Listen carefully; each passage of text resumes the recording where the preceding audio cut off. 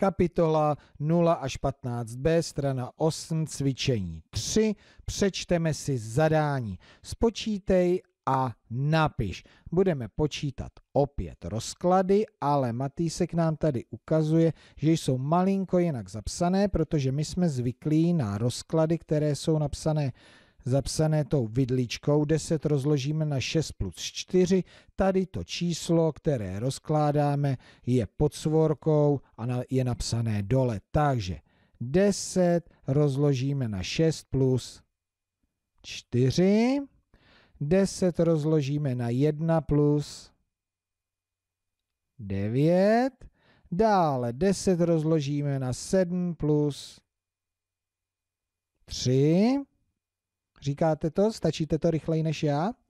10 rozložíme na 8 plus 2.